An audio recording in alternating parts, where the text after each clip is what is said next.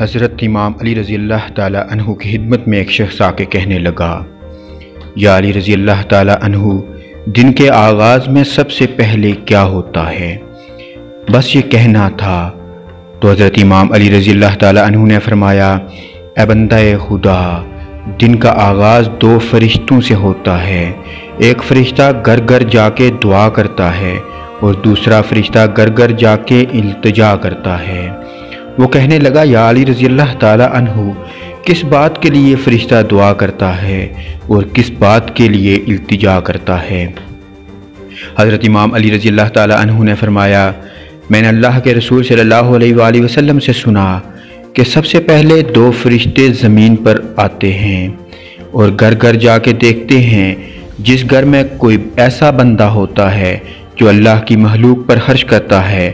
اپنے عزیز و اقارب پر خرچ کرتا ہے، اپنے گھر والوں کی ضرورتوں کو اپنا فرض سمجھتا ہے۔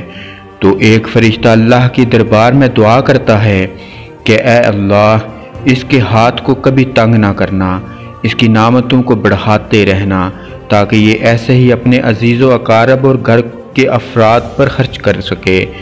اور دوسرا فرشتہ ڈھونڈتا ہے کہ گھر میں کوئی بندہ تو نہیں ہے جو اپنے مال کو عزیز و اقارب اور گھر والوں سے چھپا کے رکھتا ہے۔ اللہ کی محلوق میں خرچ نہیں کرتا۔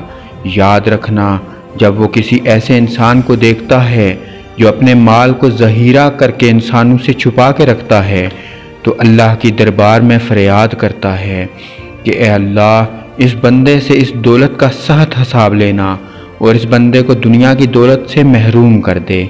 کیونکہ یہ اپنی دولت تیرے بندوں پر خرچ نہیں کرتا۔ اپنے گھر والوں اور اپنے عزیز و اقارب کو اپنے مال سے محروم رکھتا ہے اور یوں عزیز و اقارب پر خرچ کرنے والا دنیا میں فراوانی اور آہرت میں عظیم اجر پاتا ہے۔